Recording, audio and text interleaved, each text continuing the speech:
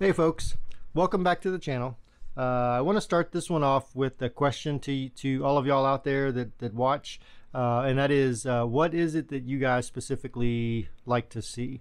Um, is it uh, the details in all the uh, the setups, or do you just guys like to see a generalized overview, or just if you guys like to watch um, as we put stuff together, uh, like this little thing, you know, that we're getting ready to talk about.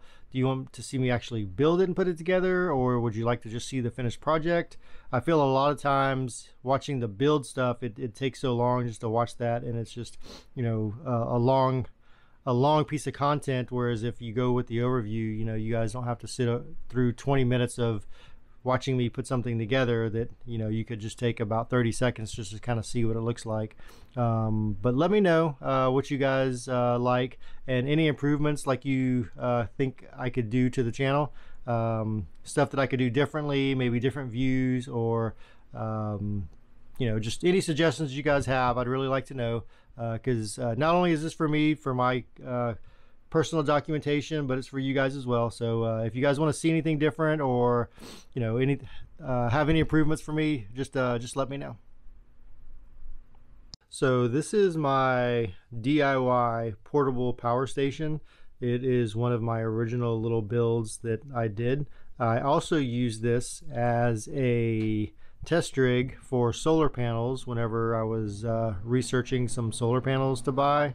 Uh, we bought uh, a couple of uh, different 200 watt solar panels and I wanted to see what the output was. So obviously everybody knows the Victron um, charge controllers, the ones that come Bluetooth, you know, you can see everything uh, with the uh, Bluetooth app, which is really kind of nice. So that was the biggest reason for wanting to get one of the this little Victron one. Um, also, it's MPPT, so it's very efficient. Um, so I wanted to uh, use something that I knew would uh, actually do well with solar panels. So and you can see um, using the app that uh, it would show how many watts we're getting. Um, you know the current voltage um, as well as the current uh, whenever we were uh, hooking them up to solar panels. So um, that's why I chose this uh, Victron for that. I think it's a really good one for that.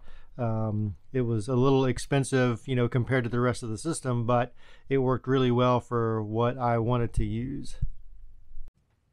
So then I also have this, it's uh, a Wagita, I think it's called, uh, battery. It's uh, like the uh, Lifetime or whatever, you know, the flavor of the month is as far as the names go, but it's basically this Chins battery. Uh, it's a 20 amp hour battery, you know, 12 volt, 20 amp hour battery. So uh, it's not going to last very long, but I really just wanted it for test purposes uh, to hook up with this guy. And so um, what I did was I took the charge controller and just basically zip tied it to the uh, to the battery and that, that way it could uh, charge the battery and then for me to drain it I put this uh, small um, modified sine wave inverter on here um, and I would just run a heater off of it or something just to, to drain it. I've had this little inverter um, it's a 300 watt inverter and I've had this inverter probably 20 years.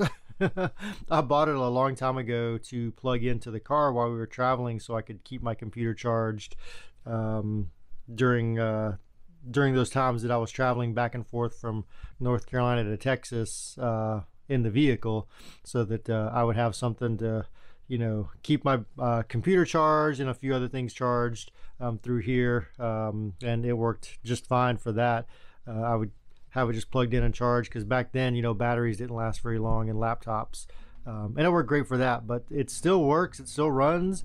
Um, we can power it on and see you know it works just fine so oh there's a fault. Interesting. Oh no it's not a fault. Um, but you can see it works fine. And so with this little rig I'll hook up a solar panel to it. I just have these quick uh, spade connectors. I'll hook up a solar panel to it and then I'll check the uh, wattage output on the phone and just kind of watch what it does in good sun, moving them around, and I can see real time what the uh, MPPT uh, charge controller will show as far as the wattage output. So I took all these things and you can see all it is is just zip tied together.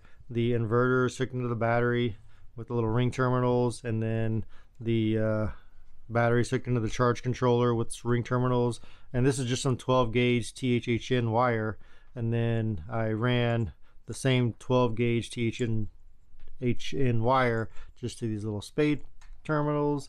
And then um, I've got a uh, I don't have it with me but I have a little uh, connector for uh, MC4 connectors that I run off that just so I can uh, pop it off and on pretty quickly. You know I know those MC4 connectors are quick but I didn't have that at the time. So now that I have this um, I could probably go ahead and switch it out to some MC4 connectors but it works fine for what I'm using you can see it's been sitting outside a lot testing things but uh, the whole thing isn't very heavy I mean it's probably 10 pounds.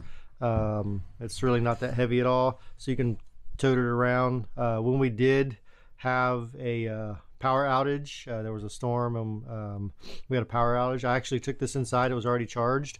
I took this inside and had it run. Uh, I can't remember if it was the TV maybe it wasn't TV, but I had something running for the kids so that they could do some stuff, and it worked great for that. I mean, it's not going to last very long because of the battery, but you know, it's really a portable power station that you can build pretty cheap and easy uh, on your own.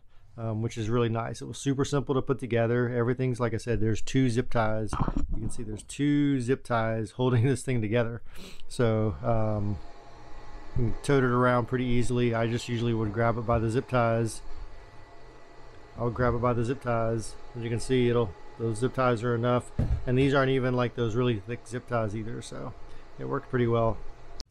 I just wanted to grab those cables real quick and you can see all I did was put some spade connectors to this and they're the ones that are not exposed so they they cover each other um, so you don't have any exposed connectors there um, just because they're going back and forth like this I didn't want them touching uh, and shorting out so I used the ones that are covered and then just MC4 connectors on the other end so um, really quick and simple way of having it hook up to the uh, to the charge controller there.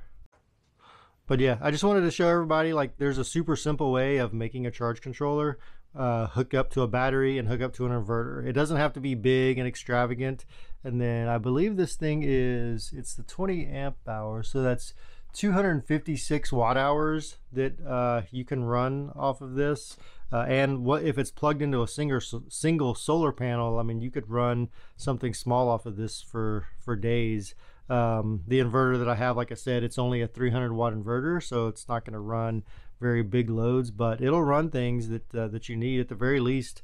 I mean, people use those portable power stations that are hundreds of dollars to charge their cell phones and their iPads and things like that. And it'll certainly do that. So um, it's just, you know, a really basic system that is easy to put together. And I just wanted to show you guys it's not that hard to build your own portable, this is truly portable power station. So I hope you guys like the content and uh, if you guys have any suggestions, like I said, uh, please let me know. I'd love to know what you guys want to see or want to want to look at or have questions about. So uh, just leave those uh, questions in the uh, comments below and uh, you guys stay safe and have a great day.